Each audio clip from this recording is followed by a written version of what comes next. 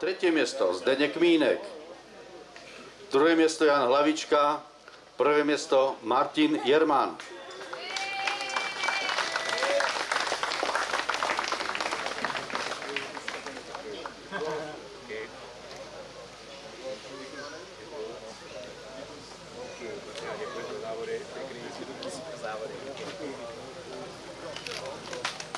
Gratulujeme.